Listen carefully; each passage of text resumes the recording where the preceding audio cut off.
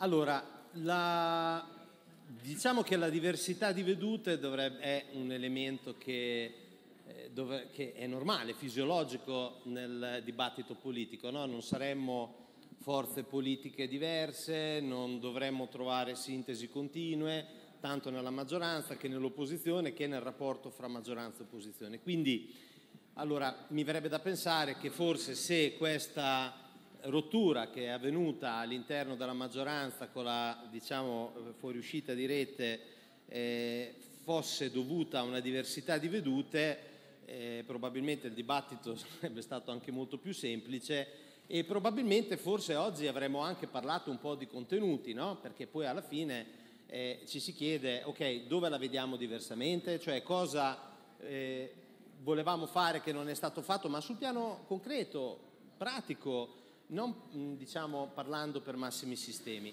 Poi però chiaramente quando il dibattito, ahimè, eh, cade in quella che è purtroppo una deriva eh, ormai della quale, della quale abbiamo, con la quale abbiamo imparato a convivere no? e che poi, eh, ahimè, forse un pochino eh, ha contribuito proprio il movimento Rete fin dal 2012 a introdurre in quest'Aula eh, portando degli elementi di discussione che forse erano più rivolti alla, alla pancia delle persone che non alla testa delle persone, e allora cadiamo nella demagogia. Cadiamo nella demagogia, allora si dice che eh, la rottura avviene perché eh, noi siamo i bravi, gli altri sono i cattivi, eh, loro sono clientelari, loro sono attaccati al potere, loro sono attaccati alle logiche di governo, noi siamo bravissimi, animati dalle migliori intenzioni, siamo eh, perfettibili ma comunque perfetti nel nostro modo di fare politica e quindi di conseguenza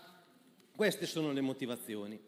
Allora, questo è, credo, l'esempio, ma ne potrei citare centomila, di come delle volte noi discutiamo i temi in quest'Aula con questa logica. La colpa è sempre degli altri quando le cose vanno male. I meriti sono sempre i nostri, quando le cose vanno bene. Allora, qui ci vuole forse un pochino di eh, eh, ordine nei ragionamenti e cercare di capire come nascono e come si evolvono le cose. Allora, innanzitutto il mandato per la formazione di questo governo l'ha ricevuto la democrazia cristiana. Siamo tutti d'accordo? Il mandato l'ha ricevuto la democrazia cristiana che è stato il primo partito che possiamo dire, ha ricevuto il maggior consenso e si è assunta la responsabilità di formare una coalizione di governo. Nessuno obbligava la democrazia cristiana a lavorare un progetto per una maggioranza così allargata. Potevamo anche scegliere una maggioranza più contenuta. Evidentemente in quel momento, per i motivi che abbiamo spiegato all'Aula tante volte, si è ritenuto ricercare una condivisione più ampia, allargando a un numero maggiore di partiti e anche rompendo degli schemi che obiettivamente abbiamo rotto, perché anche per la democrazia cristiana impostare un ragionamento politico corretto è stato un superare una barriera. Poi che cosa è successo? È successo che è arrivata l'emergenza, la pandemia, che ha un po' anestetizzato un po' tutto, forse, ha creato uno, uno scombuglio diciamo, nella, nella, mh, nell'attività politica, ha cambiato tutte le priorità e poi siamo tornati alla normalità dove, ahimè, che cosa è venuto fuori secondo me? È venuta proprio fuori quella vi- divergenza di visione sul paese che forse nella fase iniziale di formazione del governo, dove c'era comunque un senso di eh, eh, comunanza fra DC e Rete in modo particolare, gli altri partiti che compongono la maggioranza, su quelle che erano le priorità di intervento e le cose da fare, era più, diciamo, più eh, celato, ma che poi è emerso sui provvedimenti pratici. Allora, qui il problema, la mancanza di coraggio, allora anche qui la mancanza di coraggio la puoi leggere in tutti i modi, no? Allora, la mancanza di coraggio è non fare eh, non fare abbastanza per combattere la, la criminalità e le infiltrazioni malavitose. Apro e chiudo parentesi, tutto poi questioni di cui discuteremo, eh, che non sono sospese perché sarà un qualcosa che, che ci faremo carico di portare in discussione anche in quest'Aula sulla base delle risultanze anche degli organismi che abbiamo istituito proprio in collaborazione con i colleghi di rete. Ma il senso di responsabilità a cui noi, perlomeno parlo per il mio partito, ci sentiamo chiamati, non è il senso di rimanere seduti sulle poltrone ad ogni costo. Il senso di responsabilità è essere fedeli al mandato che ci hanno dato i cittadini di formare un governo, di governare questo Paese, ovviamente laddove ci sono le condizioni politiche per farlo. E questo è quello che noi stiamo cercando di fare. E guardate che è molto facile, e l'abbiamo detto mille volte, alimentare la protesta piuttosto che costruire il consenso sulle progettualità. Questo è un problema che è sempre stato così e ci sono anche delle forze politiche che hanno cambiato questo approccio anche nell'opposizione. Adesso, se penso a, a, alla legislatura 2012-2016, dove c'era una certa assomiglianza, quantomeno negli interventi, nelle posizioni, no? quella volta fra rete e Civico 10, evidentemente anche in una parte forse di quella che poi è diventata adesso punto SM, poi evidentemente sulle progettualità con le esperienze di governo si cambia anche un pochino di visione.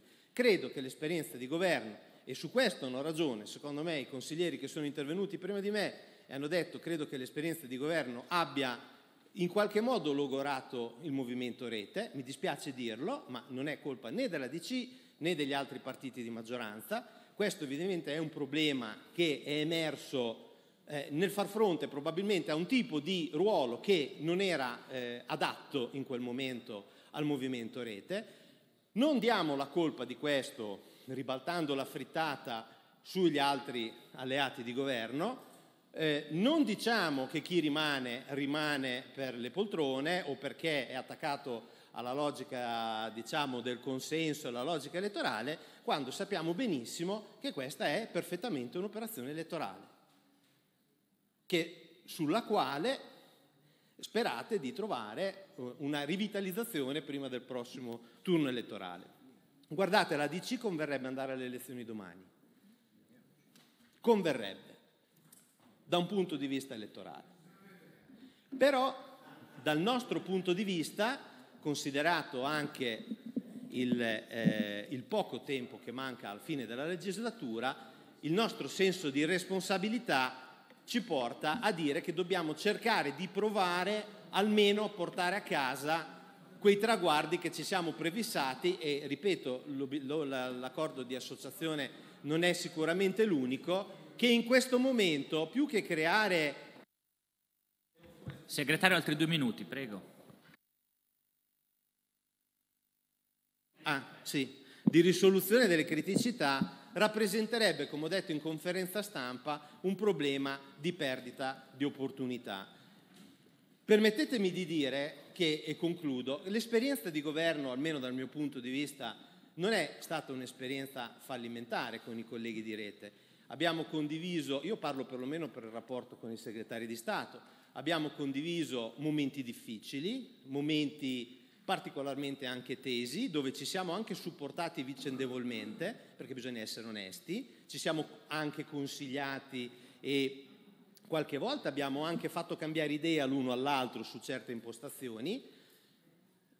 Credo che questa scelta sia stata una scelta, eh, ahimè, troppo frettolosa e dispiace, dal mio punto di vista, che dall'altra parte eh, anche nell'intervento dei colleghi, questo sì mi dispiace, non sia stato per nulla menzionato il lavoro e l'attività, almeno su un piano umano, che eh, è stato portato avanti nell'ambito della collegialità del governo. Credo che chi è stato al governo sa che bene o male in quel contesto c'è un ambito di collaborazione che va a volte anche al di là degli schemi e delle logiche della politica. Però ormai siamo abituati anche a questo e evidentemente un giorno va tutto bene e il giorno dopo si rimette in discussione tutto. Grazie Eccellenza.